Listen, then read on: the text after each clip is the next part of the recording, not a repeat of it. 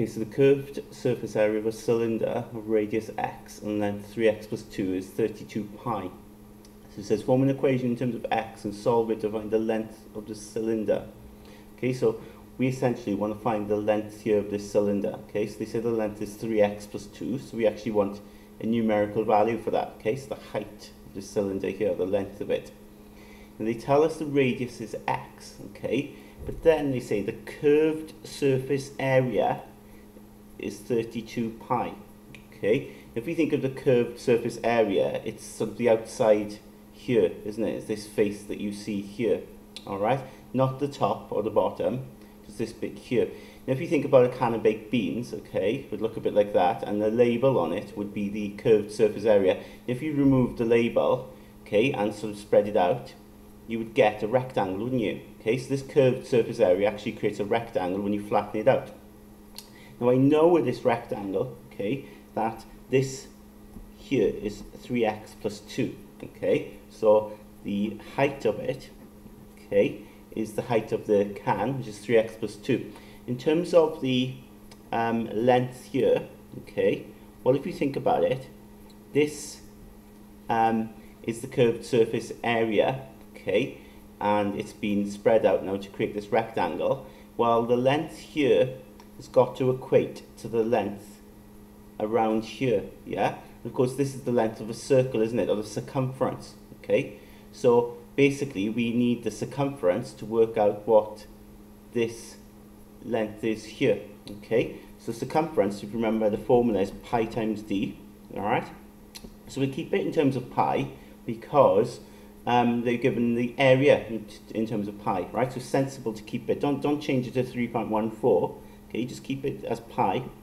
But then the diameter there, okay, so we've got pi times diameter. The diameter, of course, will be double the radius, yes? If the radius is x, double it, you get 2x.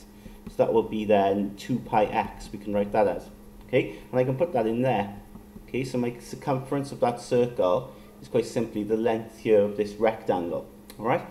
And then it says that the area of it is 32 pi. Now, to get the area of a rectangle, it's really simple, because what you do is you times the length by the width, don't you? Okay, the length by the width. So 2 pi x, okay, times the 3x plus 2. So I'll put in a bracket to show we times in, length times width.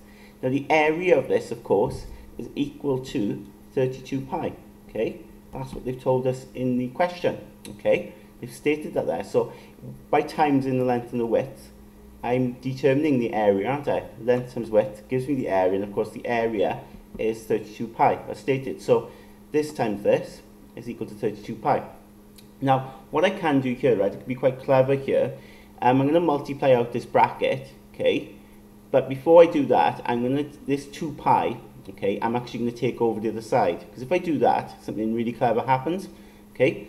So, um, you know, I could times through the whole bracket by 2 pi x, okay? And times by the 3x and times by the 2. But it might get a bit messy if I do that. But if I appreciate that the 2 pi here is times in by the x, okay, so if I take the 2 pi over, I divide by 2 pi, okay, and on this side then I'm just left with x, 3x plus 2, okay, so I'm just, because I'm timesing here, take it over and divide. And what nicely happens here is 32 pi divided by 2 pi, well the pi's will cancel, okay, pi divided by pi is just 1, and 32 divided by 2 is 16. So 32 pi divided by 2 pi just becomes 16 and the pi's have gone. And I just need to multiply that out. So I get x times 3x is 3x squared, x times 2 is 2x. So I've got that there. And you can see then we've got a quadratic.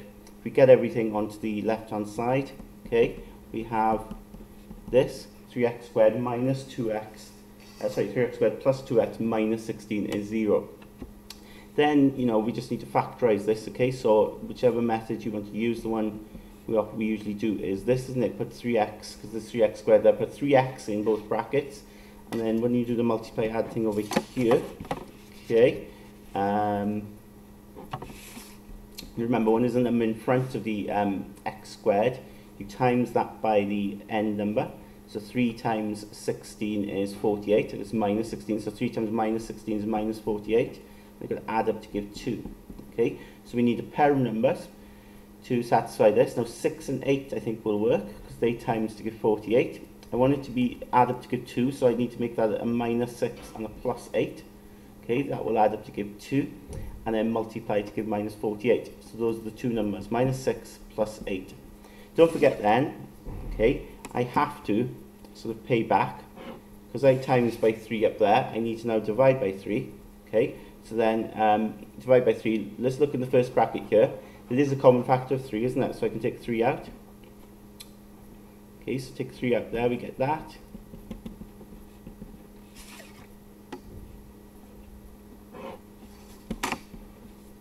Okay, so 3's will cancel. So I get x minus 2 then in one bracket, 3x plus 8 in the other bracket.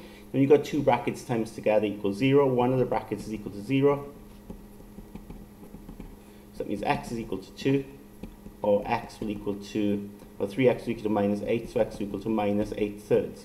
Okay? Now, um, if I put these two values in, I can then get the length, right? I can see which one would possibly work. Maybe both of them would work. Okay, so if I work out the length, and remember the length is 3x plus 2. So it'll be 3 times 2 plus 2. If I put 2 in to start with. Okay, so that would be um, 3 times 2 is 6 plus 2 is 8. So that'll be 8 centimeters. Um, or if I put the minus 8 thirds in, 3 times minus 8 thirds plus 2 if I put that into 3x plus 2, now if I do that, that actually ends up being minus 6, which is impossible. Okay, you can't have a negative length, so therefore 8 centimeters is my answer.